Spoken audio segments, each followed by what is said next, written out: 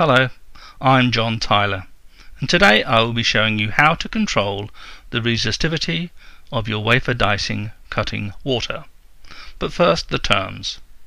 Resistivity, resistance, conductivity and conductance are all terms used when discussing the electrical properties of wafer dicing cutting water.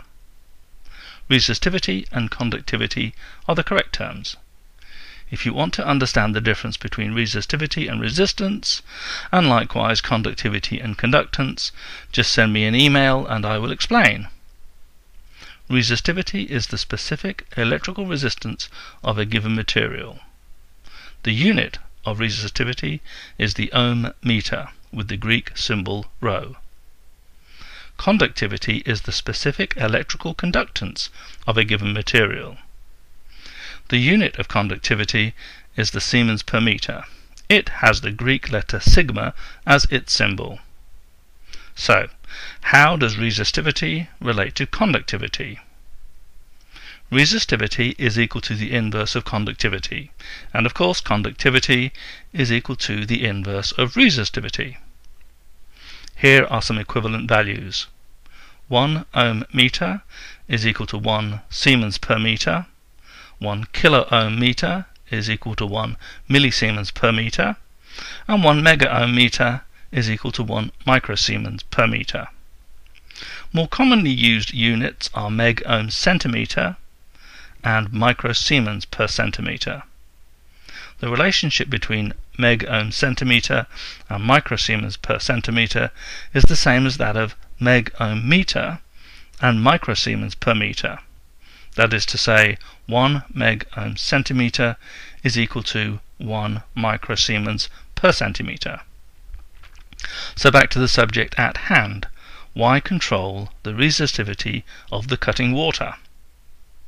Water used in the wafer dicing process is typically deionized to remove impurities commonly found in city water. Water that has been deionized by definition, has had its ions removed. Without these ions, water cannot conduct electricity and becomes highly resistive. Deionized water used in wafer dicing is typically around 18 megohm centimeters. That begs the question, why is that a problem? The problem is that the friction of the dicing blade creates a static charge. The fact that deionized water is highly resistive means that it will not dissipate the charge, but in fact supports it. The charge, if dissipated through the wafer, would damage the circuits on the wafer, creating significant yield loss. Not only that, but even a small charge will attract silicon particles to the surface of the wafer, making it very difficult to clean. Fortunately, the solution to the problem is a relatively straightforward one. The resistivity of the dicing water can be adjusted by adding the appropriate dicing fluid. In this case I used KerfAid, KerfAid 286 to be specific.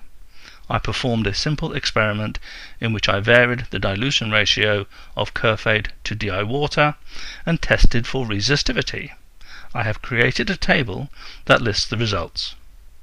As you can see, it is merely a matter of using a specific amount of KerfAid 286 to set the resistivity of the dicing water. In summary, highly resistive DI water supports a static charge, the charge can damage devices and prohibits cleaning of the wafer. To resolve these issues, reduce the resistivity of the wafer dicing cutting water to below that of 1 megohm centimeters by adding KerfAid 286. Please send me an email for additional information or visit www.dynatex.com. Thank you.